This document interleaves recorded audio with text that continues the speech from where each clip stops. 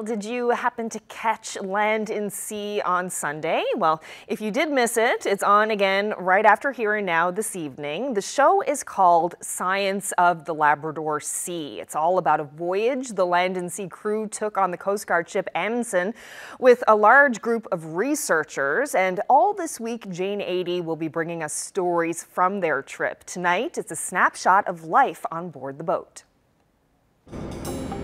Our voyage on board Coast Guard ship Amundsen begins in Quebec City. We travel all the way up the coast of Labrador. Our two weeks on board brings multiple stops in the Labrador Sea where researchers explore and take samples. We finish our journey in Iqaluit, Nunavut. Dave Cote is the chief scientist on board. Cote is a researcher with Fisheries and Oceans Canada. Everything is super choreographed. We start planning about 10 months in advance. We have people packing kits like they're going out into space, for example. So they'll be itemizing all the things that we might need, the things we might need if things break down. And everything is put in boxes and shipped to the Amundsen months in advance because once it leaves for the Arctic, everything has to be on it. This is an annual trip made by the Amundsen. Once the vessel reaches the coast of Labrador, the work begins. Operations on the bow of the ship go on 24 hours a day at testing sites.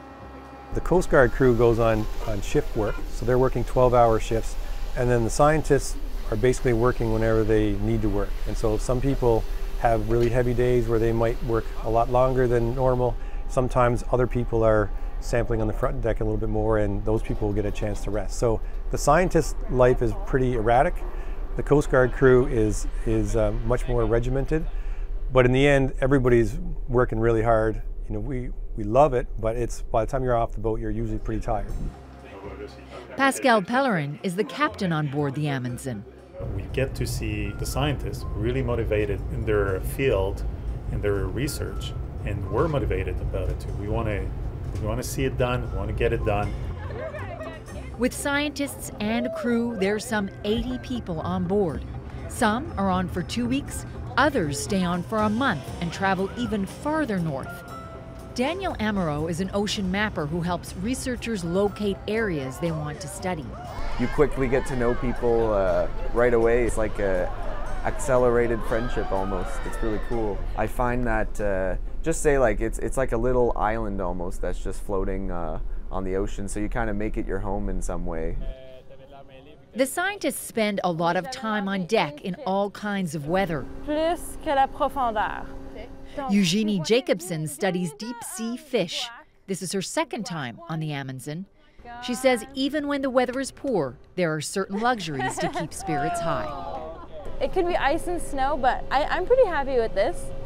Um, yeah, I did find out that my suit wasn't waterproof the other day. I learned that the hard way. But uh, it's gonna be, it's good. I'm happy, I'm happy. And we have nice warm showers on board, so it's great.